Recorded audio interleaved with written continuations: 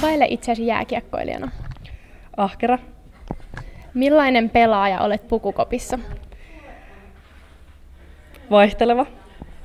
Kenellä on joukkojen hauskimmat jutut? Saila. Mitä ilman et voisi elää? Puhelin. Jos saisit valita minkä tahansa taidon jääkiekon ulkopuolelta, mikä se olisi? Opiskelu. Jos et pelaisi jääkiekkoa, mitä tekisit? Töitä. Tärkein rutiinisi ennen peliä. Alkulämpö.